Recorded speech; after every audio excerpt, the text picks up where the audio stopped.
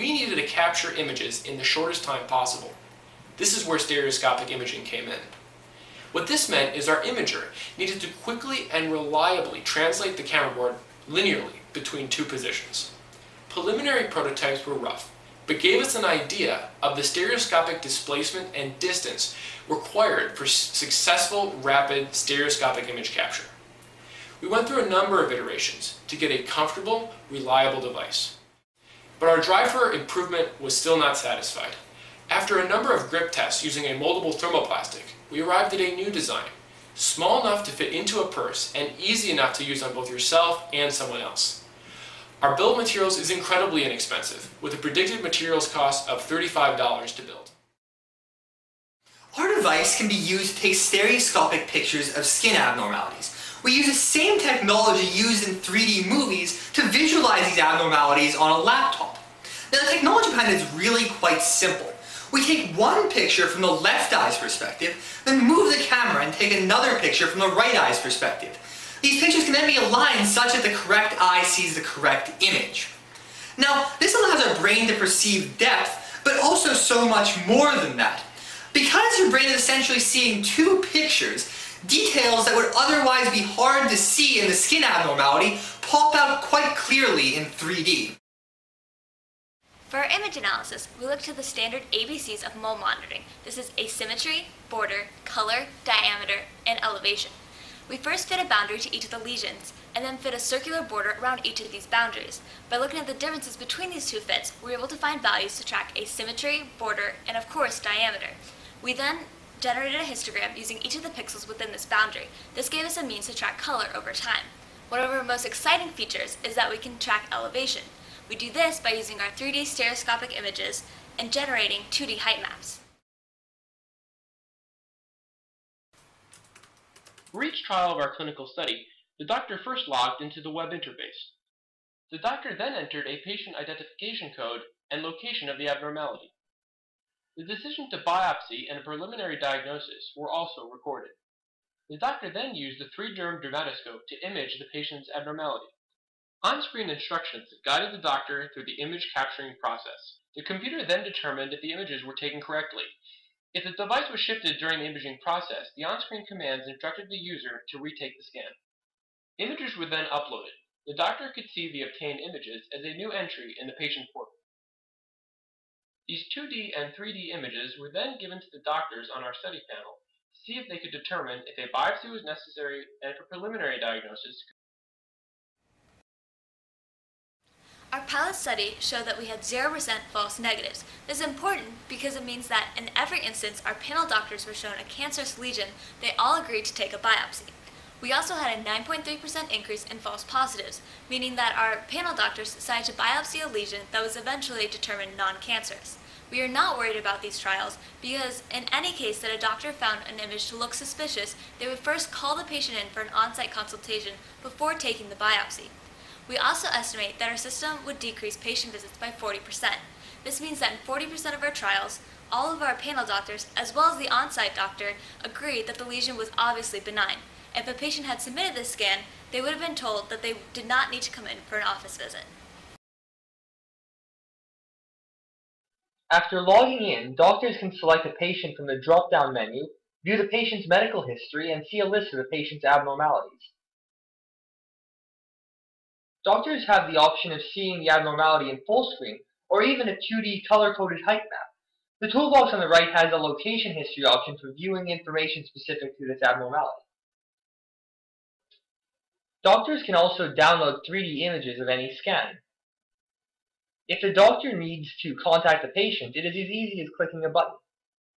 If the doctor wants to consult with another physician on a specific lesion, the consult tool can be used to send de-identified case information to other registered doctors. Each abnormality scan history can be easily accessed and compared visually. An overview of the larger skin area can also be viewed. Calculated characteristics of these lesions are automatically tracked by our server and can be seen graphically under the Analysis Monitored variables for area, radius, border, asymmetry, color consistency, and color brightness can be seen here.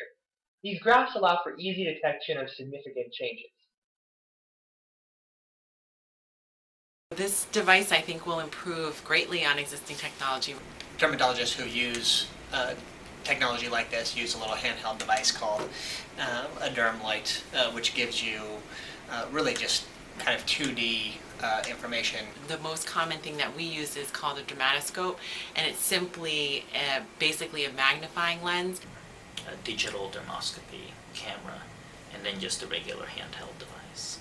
We actually take photographic images and follow them to see if a nevus is changing or if to see if something looks suspicious and to be able to get that 3D image versus just a 2D, you know, um, just looking through a mic- magnifying lens, I think will add a lot because it'll give us a lot more characteristics to rely on.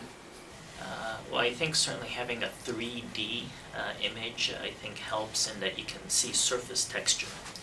Conceivably, having uh, an extra dimension with which to probe uh, the tissue that we're examining in the clinic would allow us to um, uh, just have more detail and therefore more accurate decision making. Some of them uh, where it's flat, it actually helps to see that it's flat. Something like this that can create a 3D image will greatly allow us to assess better a lesion that we can then follow over time. It does help to see the nature of the scale across a little bit better. The image quality is very good. Um, it, I was actually very impressed with it. it. The image quality is actually quite impressive. I think that the use of polarized light allows you to assay the pigment network uh, in ways that are important to evaluate whether a lesion is benign or malignant. In terms of the height and the shape of the lesion and even all those little details with the scaling and the color, it captures it very, very well. The 3D image uh, gives you a real sense of uh, change in size over time. The quality right now, I, I think, is, is good.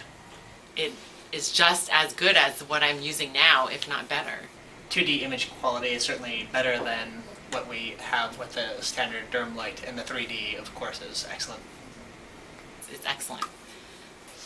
I think that the main improvement of the 3D dermatoscope is that it enables us to have our patients actually follow concerning lesions at home and to provide feedback directly to the office. I would use it maybe in place of my dermatoscope. Can use it for follow-up, uh, for long-term follow-up of a skin lesion, for example.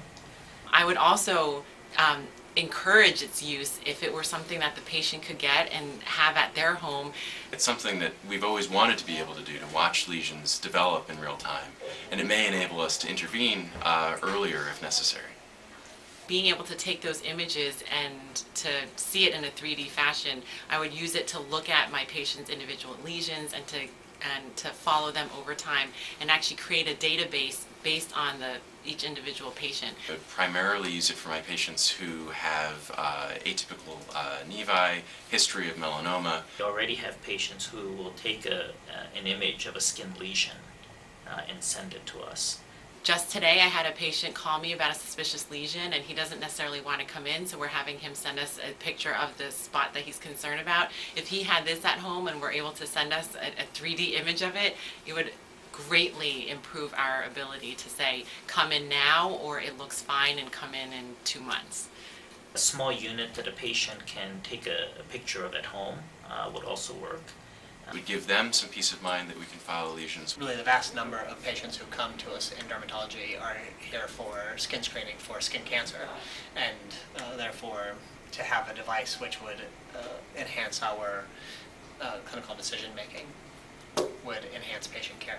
Rather than um, possibly running in for every little thing that somebody is scared of, they could possibly send us an image and then we can assess better and be able to triage better whether Give me a little bit more certainty that we were providing the best level of care possible.